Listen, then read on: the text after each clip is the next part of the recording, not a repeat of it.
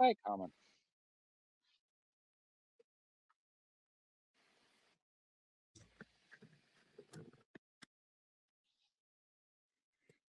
Carmen, can you hear me okay? Yes, can you hear me? Yes, yeah, absolutely. Great, and you see me. Great. Yeah, it's all working. It's all working. So how's it going? it's good. We're trying to make Peter coming in as well. Let-. So for me, everything is okay. I'll mute myself. Okay. I think there's maybe there's maybe a slight delay on your um, your audio. Yeah, no, kicked me out. I was on the other pre-room, whatever, right, with Cecile, and and she added me here, but uh, we were still trying to fix Peter, and now I'm not in that preparation room, so I don't know what they are doing. Hopefully, he will come in, and he will not let me alone. Okay. Let's see. Let's hope so. Let's hope so. I mean, Peter, if you're here and you can't get in, just post something in the chat and then we can uh, talk you through it. Yeah, let's see.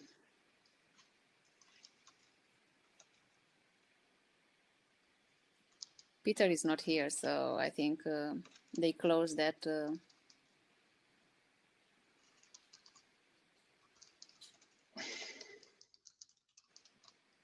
too early for him. Okay.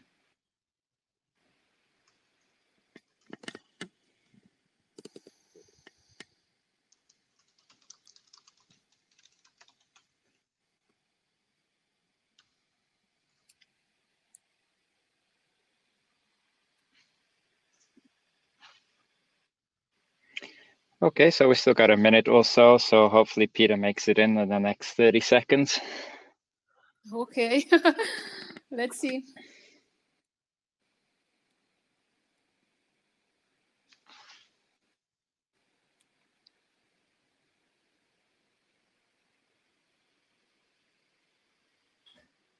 Uh, Peter, if you're there, maybe just just type something in the chat so that we know you're here and uh,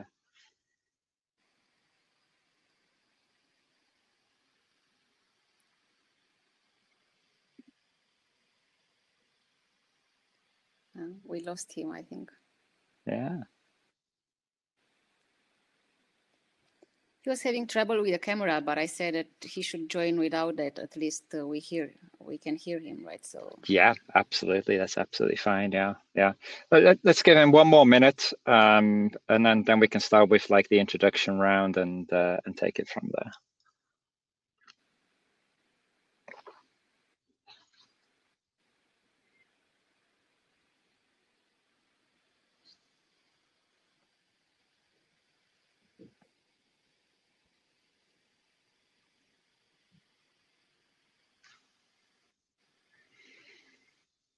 Okay, if you're just joining to the uh, to the roundtable now, we're we're just waiting another minute for Peter.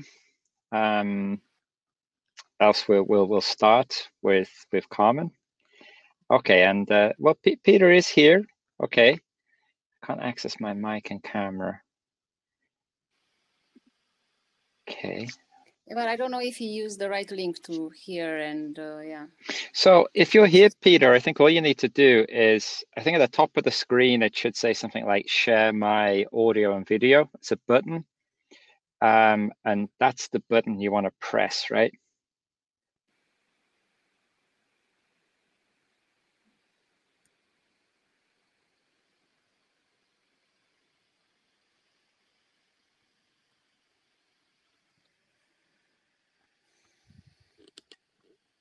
Uh, but then it hangs, huh?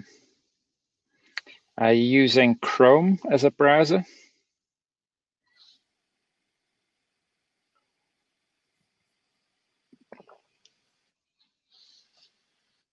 I think everything is. is.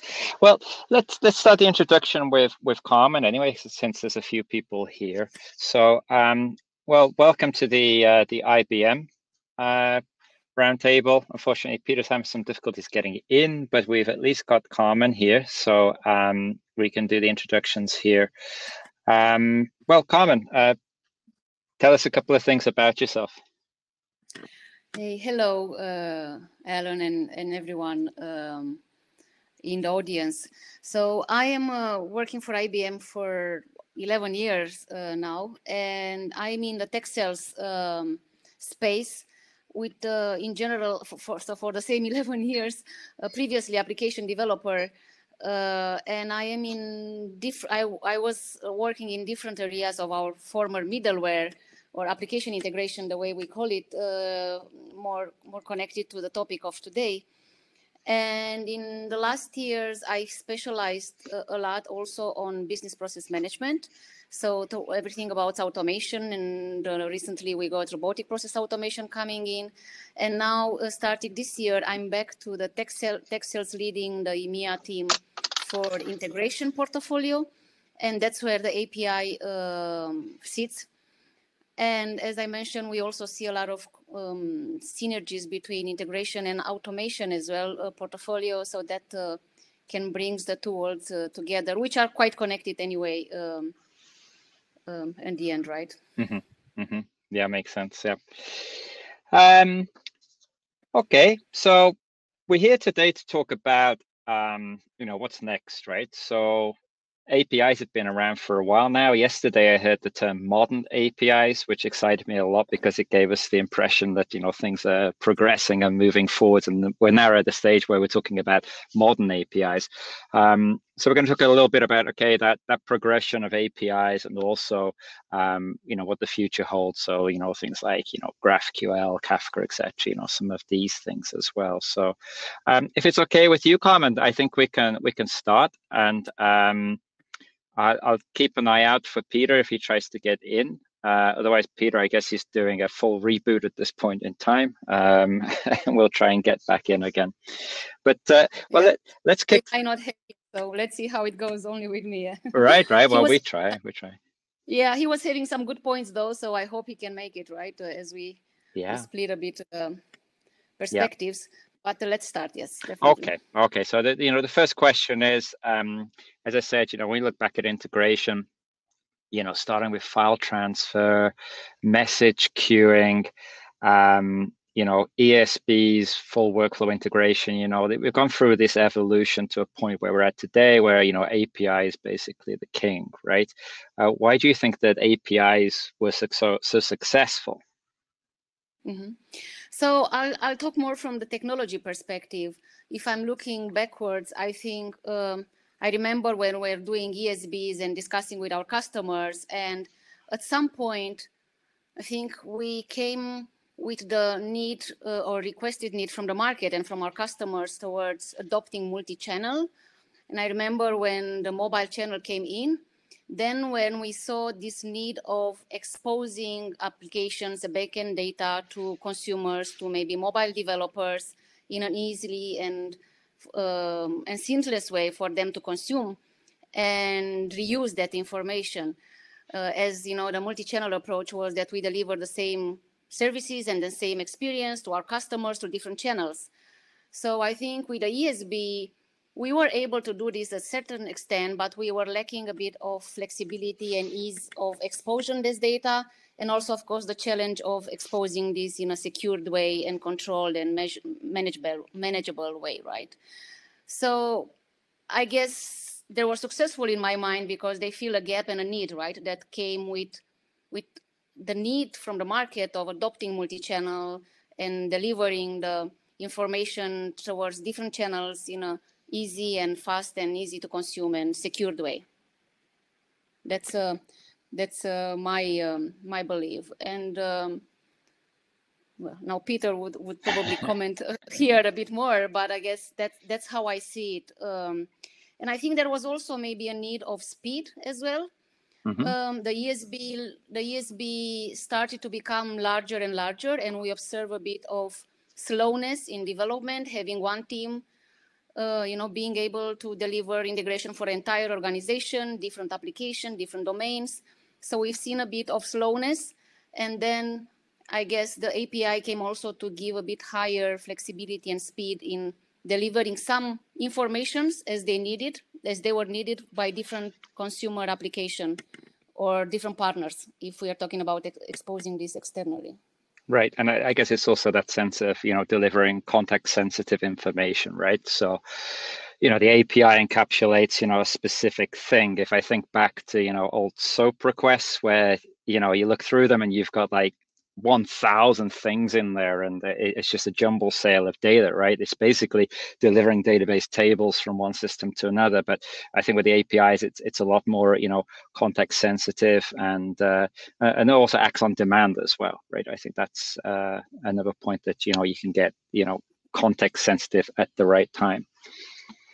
Yeah and then and then we build the api management right? It's, first we had a security gateway to expose information and services in a secured way to take care about encryption, decryption, policies, access rules, controls, and so on. And then the API management came on top, right, to hide this complexity and deliver this API in a in an easily and and um, way. And and I guess also maybe the other thing that made successfully from the technology perspective was that the approach was on a low code configurable approach, right? To make it also easily to develop new APIs, to consume those APIs, as I said, uh, um, retrieve and search those APIs. So all of these things together, I guess, made the success of uh, of this technology. Right, but when we move forwards, then um, so so API is currently king. Do you, do you now see a situation where uh, we've come up with a new integration pattern? Uh, if so, what is out there? Yeah, and our I guess as we have heard from other sessions yesterday, I guess we we strongly believe in multi-style integration approach, but one patterns that is definitely here already. It's um, is the event driven, I think, and um, it's it's really uh, here already. Yeah. and it's something that is not new in the end, right? We have seen this before. Um, but it's coming back as a preference of, um, hey, here we have Peter. It's coming back as a preference. Yes, I'm uh, joining uh, via, uh, via my mobile, so it's maybe not the okay. best quality. But... You see, the mobile channel is saving us. Absolutely, well done. Hi, Peter. Nice you can make it sorry for that. So maybe yeah, so I'm still trying. I don't know if Peter, you heard. I don't know if Peter, if you heard anything. What we said, we were jumping now to the second question, but maybe I'll pause here and let yeah. you comment for the first one. Yeah. Um, so what uh, I wanted to say is yes, uh, since we have uh, API, uh, it's it's basically a lot of evolution what we see here when we look uh, at the history of all these uh, integration patterns, what we have seen is uh, integration patterns across uh, transactional, but now then it moved at the end of the day to not a transactional pattern. And that's why we initiated this discussion. Yeah, and this is what we also will see uh, at, in the future more often is more a context sensitive and uh, not an in, in transaction-based pattern, we will see more an event-based pattern. So means that we are not, uh, when you today, yeah, so you see that the sample of Google Maps, yeah, that you click on the map, then you it, a window opens up, then you search for a rest, uh, then you get location-based information, but it always is in a context of an API, of a request and a response. And this is not what we see in the future. If we look at patterns, for instance, uh, a plane is delayed, yeah, so then you are subscribing to uh, an, an, event, so plane is delayed, and then what we are seeing is that the APIs are basically triggered on the workflow automatically. And this is what we will see here really in the future, uh, that we can uh, have a more customer face, the customer oriented interaction of integration, where the, the, the automation, where the artificial intelligence, the AI defines the pattern, how to integrate what is best for the customer. And that's why we see now that in, in terms of evolution, we see the APIs are going, uh, that we see a bridge of the different integration patterns. Okay, great. And then the the second question that Carmen already started to to answer at that point was then, you know, um, so do we see that integration has come up with a new pattern? Yeah, and I was starting to mention about events uh, uh, pattern, and as as I think, why is this coming right back? Uh, I also see two sides. Let's say one more coming from the customer demands, and the other one more from the technology. Let's say triggered.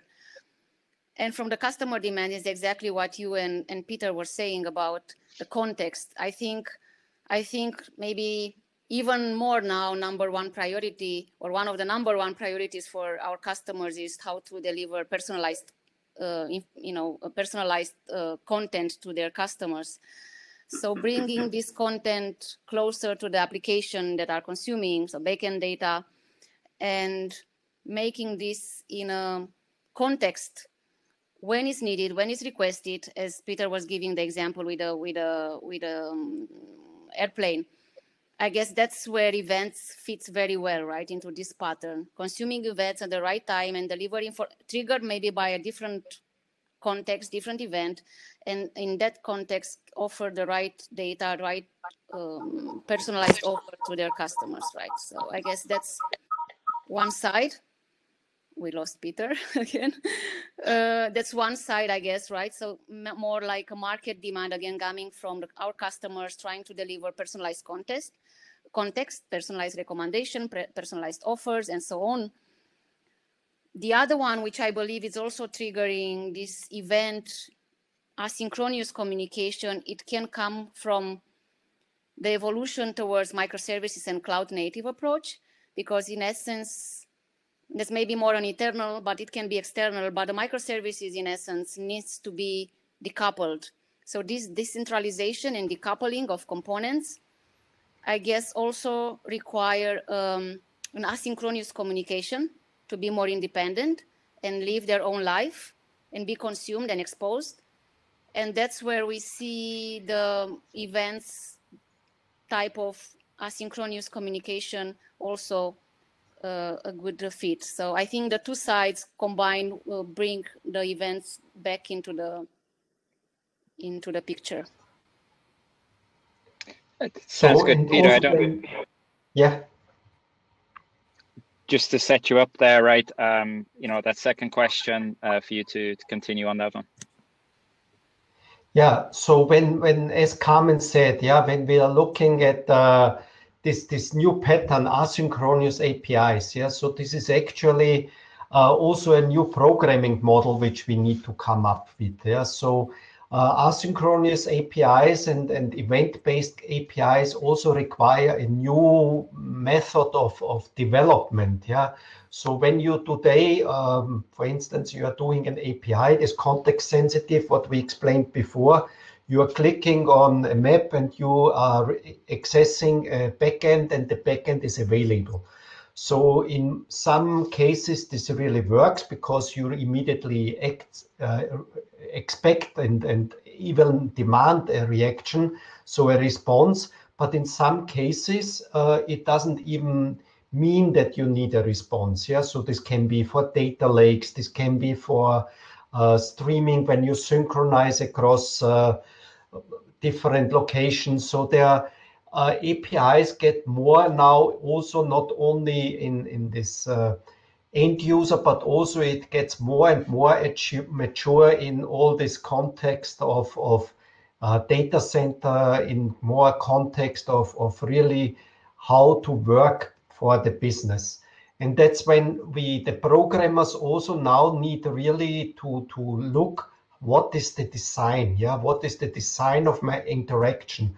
Uh, they have to find a new way uh, how to define the, the interaction with the backend, how to define an HTTP request, how to really react to an HTTP request, because a timeout can be a timeout, but it also can be an expected response. And so when we see into this new message-centric interaction with asynchronous API, with event-based APIs, it means that we have to learn from what is existing, what is the use case, what is expected by the end user, uh, so that we know, now look also in a business context that just uh, looking into the API itself and how a URL, how a YAML is designed.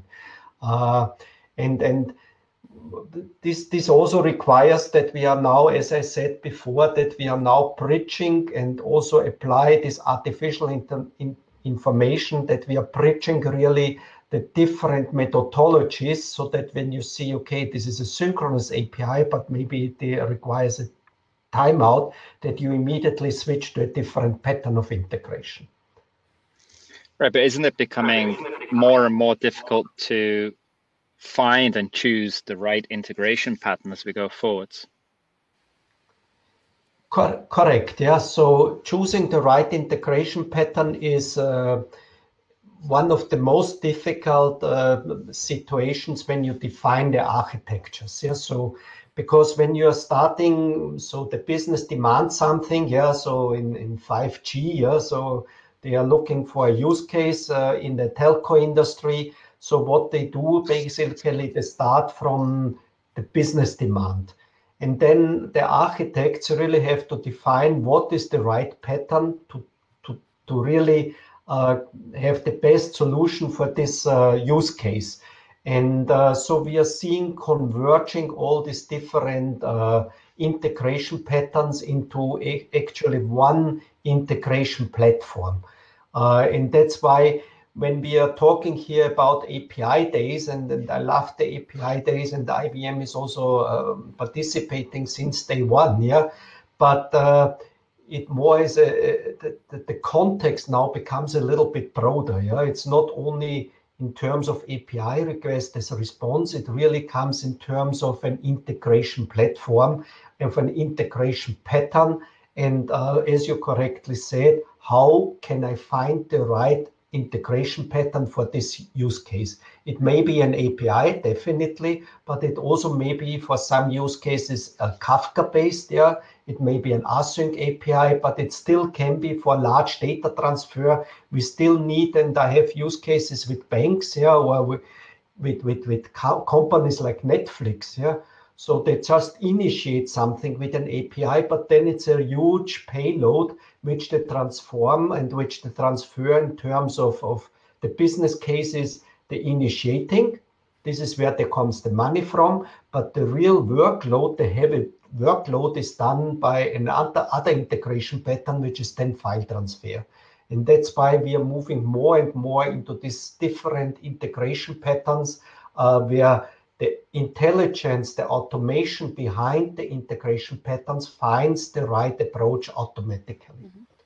So, so yeah, maybe one thing to add is that, um, and it's obvious from Peter's answer already that when we talk about this evolution, it doesn't mean that we don't use the other, uh, you know, te uh, technologies or patterns anymore, like uh, messaging or the orchestration of integration with the ESBs and so on. So each one of them, as, as he said, I think has its own best fit use case and it's just a way of combining those to achieve the best uh, integration uh, capabilities that you need.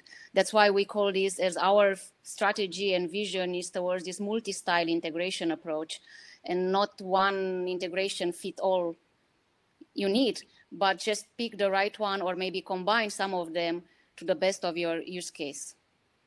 And, and we do have methodologies towards this. So we usually discuss with customers via some agile workshops, integration workshops that we use, especially to explore and understand the business needs, the drivers, the use case they have, and map that the right uh, technology or the right capability on the right uh, to achieve the use case uh, and meet the business uh, business KPIs and needs. Hey, great. Um, We've got a few minutes left, and I'd like to take a question that was asked in advance from the audience, and that is how do you ensure API design quality or consistent API flavor when APIs are designed by many different departments? Yeah, so there are different kind of, of, of, of, of governance. Yeah, one you are talking about is really applying API governance uh, during development time. Mm-hmm. So during development time, what we have seen with, with, with customers already, yeah, so that they are basically do validations, yeah. So when you are calling an API, yeah, so HUK Insurance in Germany is such a case, or IKEA is such a case, where we, uh, when you are defining an API, they have, uh, first of all, a common dashboard. So they have templates. Uh, templates means that you have a, a, a YAML definition. Yeah, so and the YAML definition defines the policy. Yeah, so it means that in cases you really need to define every API, for instance, has to have an OAuth policy to identify the user. So which means that with these patterns, you're defining a, a, a pre-processing policy where it says whenever some developer defines some API, it automatically gets a predefined policy attached to the YAML file, which says, okay, user authentication is required. Mm -hmm. So this is one kind of uh, governance that you say, okay, in my company, I will not allow anything which doesn't uh, have a OAuth or whatever you are defining. Yeah. The other, other one is that you are saying, okay, I'm applying a governance during the call process. Yeah. So um, as I said, we had we had a company in Germany, insurance company, and they did some governance and when they called with the parameters. So they are verifying all the parameters uh, that you are calling it the correct way that you are calling the correct url and the third uh, action of, of governance is that uh, also comes into the monetization uh, is that you are calling the right api and then you do an internal chargeback. For instance um, we had this company insurance they send out their their their people and said, okay, we are now introducing that you automatically can create an insurance case. So they went to the cars, they made a picture, and then they automatically created an insurance case internally in a database. Mm -hmm. So this was a basic workflow based on integration. As I said, it started with an API. Then it also transferred the file, which is a different pattern. Yeah. But at the end of the day, yeah, so when they introduced such a thing, it also meant picture recognition. Picture recognition, they called uh, API from, in this case, Watson API from IBM, but this costs really money. But it was so popular that everybody used it, and now they needed to apply an internal chargeback that only the people can use it which are allowed to do it. Yeah? Which uh, that they can also charge back internal their departments. And also this means that you now need to apply runtime governance. Who can call an API when it's called that you actually monetize it either internally, externally. And these are all different angles of governance, which needs, uh, as I said, always API is a, a two different things. One is API economy, where you have a great idea like this insurance case, but on the other side, API economy also means that you do a proper API management. API management means that you are now controlling who is accessing the API, that you're identifying the users in case of, let's say, in the banking. Yeah. So open banking, a classical use case for API calling that uh, you can in, insure or can automatically find the best rates across all the banks. Yeah, right. Done with APIs, real use case, but this is how it needs also proper governance. Great. I think you answered that question very well. Thank you very much. Uh, it was great that you could both make it, especially Peter. Eventually, we got past the gremlins. Yeah, sorry for it. that. I don't know what. No problem, no problem. But uh, I think we have to leave it there. The stages are starting again, so um, we'll finish. Thank you very much for coming. Enjoyed that very much, and uh, look forward to seeing you the next time. Thanks, and bye bye. Thank you. Bye. Thank you, Ellen. Come and bye, team. Bye.